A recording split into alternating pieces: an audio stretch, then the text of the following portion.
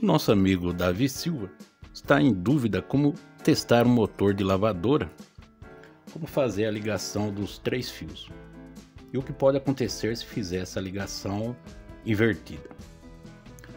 Meu amigo Davi, aqui eu estou utilizando o motor de uma lavadora de 15 kg, motor da marca VEG. É um motor que trabalha com uma tensão de 220 volts eu pus aqui uma fiação com as mesmas cores. Pois fazendo esse teste, do modo de fazer esse teste, dá para testar qualquer motor de lavadora que utilize três fios. Pois cada modelo, cada marca utiliza cores distintas. Se gostar do vídeo, deixa um like se não for inscrito, se inscreva no canal. Esse motor utiliza um capacitor que trabalha até 380 volts. Ele tem uma capacidade de armazenamento de energia de 15 microfarads. O capacitor ele armazena energia elétrica. Caso validar com o capacitor e não saiba se ele está descarregado, se ele já tiver assim com uma fiação conectada, encoste uma ponta na outra. Jamais toque os contatos do capacitor se não tiver certeza que ele está descarregado. Ou com uma chave, uma ferramenta bem isolada, feche um curto entre seus conectores. Assim também já descarrega o capacitor. Para descobrirmos aqui qual desses três fios é ligado no capacitor e qual fio liga direto uma rede de energia, Vamos utilizar aqui, no caso vou utilizar um amperímetro, mas pode ser um multímetro comum. Primeiramente, a gente põe na escala de bip sonoro, que é a escala que quando se toca uma ponteira na outra, ele emite um sinal de bip. Pondo aqui na fiação, uma ponteira na fiação e a outra ponteira encostando na carcaça do motor, ele não pode acusar sinal nenhum. Se acusar algum sinal, o motor não está em condições de uso. E caso ligue ele toque no motor, pode levar um choque. Para descobrir qual é o fio comum e qual, é, e qual são os dois fios que se ligam no capacitor, vou pôr aqui numa escala ômica e por aqui uma ponteira nesse fio. Vamos chamar aqui de primeiro, segundo e terceiro fio para facilitar. A outra ponteira, tocar aqui no segundo fio e ver o que vai registrar no, no multímetro. 39. Continuando no primeiro fio, tocar no terceiro fio. Ver o que ele vai apresentar. 19. Agora, por aqui no segundo fio, a ponteira no segundo fio e no terceiro. Vai apresentar aqui 19. Qual que é a conclusão aqui? Entre esse primeiro fio e o segundo é o que apresentou uma maior resistência. 38. Então esses dois fios é o que se liga no capacitor. E esse terceiro fio é o que liga uma fase da rede de energia. E o que pode acontecer se inverter a fiação?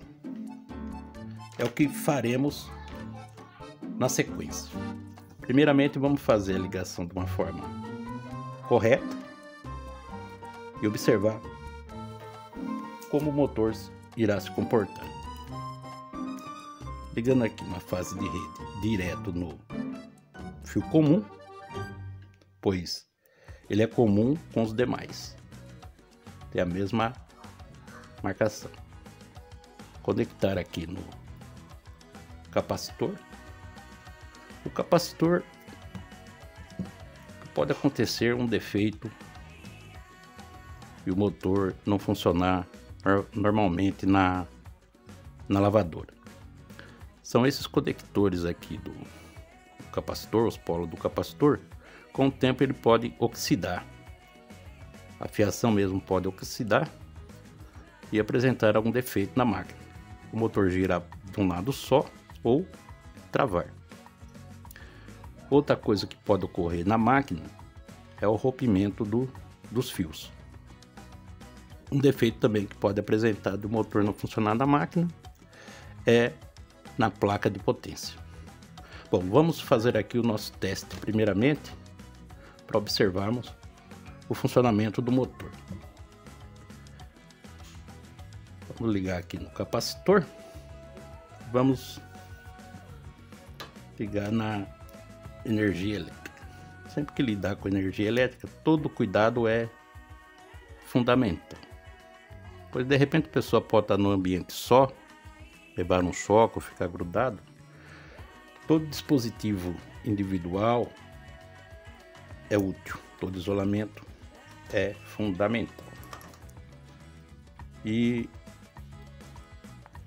quando o motor ele está em boas condições, seu funcionamento vai ser normal. Essa outra fase aqui que sobrou, ela é um comando que quando o motor está na lavadora, a placa de potência, uma hora ela libera energia num polo, outra hora ela libera em outro polo.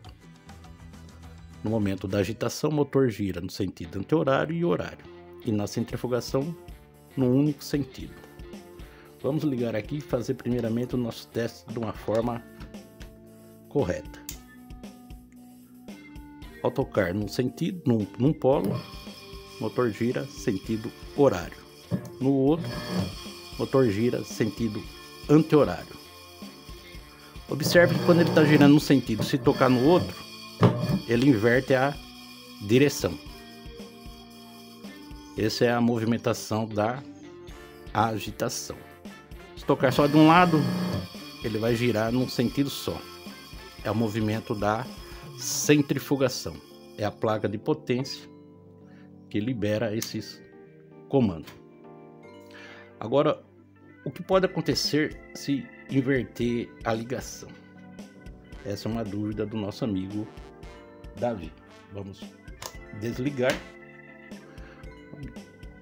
descarregar o capacitor encostar um fio no outro, capacitor descarregado.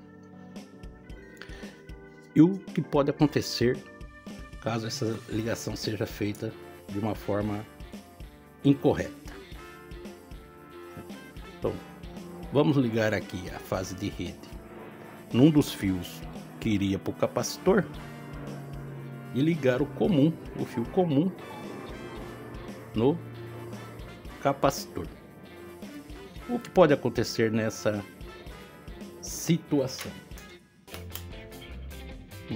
Fazer aqui um pequeno isolamento.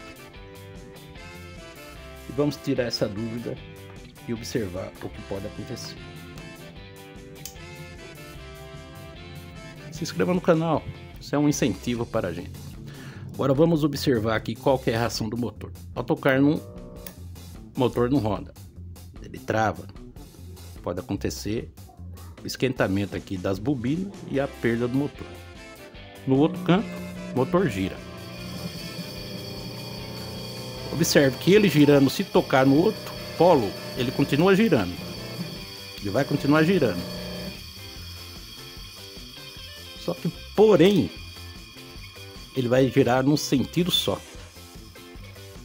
Ele vai ser inútil para o uso na lavadora no seu estado de agitação.